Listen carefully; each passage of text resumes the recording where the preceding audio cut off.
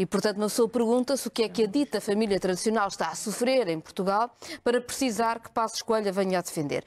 Como não está a sofrer absolutamente nada, não há nenhum ataque, ou seja, está a combater perigos que não existem, precisamos nos perguntar qual é o objetivo de se fazer uma coisa destas. As escolas o que ensinam são direitos humanos e exatamente o que está na Constituição da República Portuguesa. E ainda bem.